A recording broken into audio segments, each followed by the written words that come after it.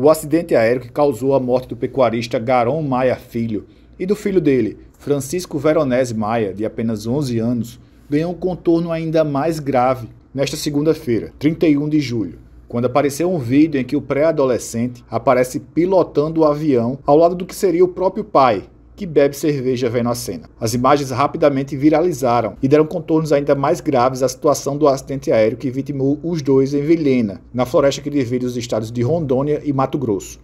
No vídeo, Francisco Veronese Maia, de apenas 11 anos, aparece segurando o manche do avião, enquanto o pai, bebendo cerveja, dá dicas do que fazer. Não se sabe ao certo se o vídeo é recente ou antigo, mas foi divulgado logo após o acidente. Na imagem, inclusive, em dado momento, Garon Maia aparece tomando cerveja e comenta a situação. Ele ainda cobre a numeração do avião no painel, para que nenhum pau no apareça para reclamar na rede social. Vejam agora todo o vídeo. Pronto, tudo certo. Certo, nada na frente. Nada na frente, tudo certo, ok? Ok. Vamos lá, 600 cavalos, pode empurrar. 600, não, que calma aí. Nossa senhora!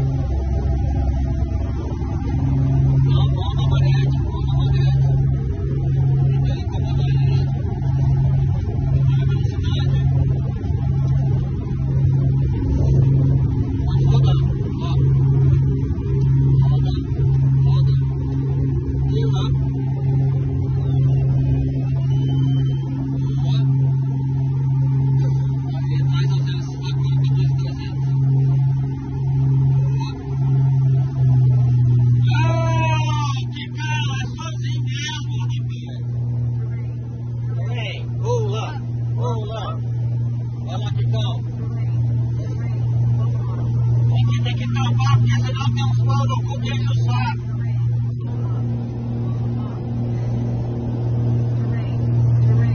Chicão, tudo certo aí? Tudo certo.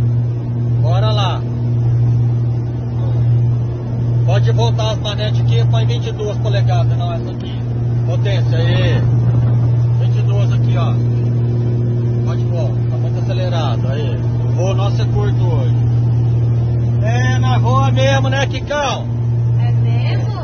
Bora! Meu piloto, boa! Aí.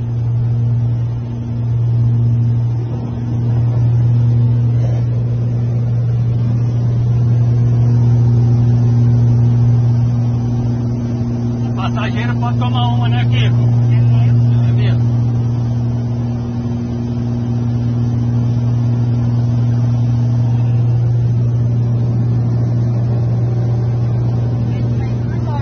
Bora. Como é que tá aí? Uma beleza.